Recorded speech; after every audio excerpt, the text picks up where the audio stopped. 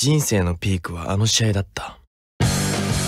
堕落した元高校球児の2人。めっちゃかっけえじゃん。この車貸してくれたんだよ。ハッチンだ。いや野球部の真似やってたさっきだよ。最高の一日のはずが。首が痛いの。我おやつさん直せんのかこれ。最悪だ。なんもね。金も粉もね。問題は一個ずつ解決だ。待ってくれ。割れてるし俺の車すぐ持ってるからもうどっからどう考えても最悪だろ。人のせいにしてんじゃねえよ。人のせいにしてんのはてめえだろ。あの試合で人生狂ったとか思ってんだろ。独りよがりのただのガキなんだよ。寝言吹いてんじゃねえぞ。やるかやられるか。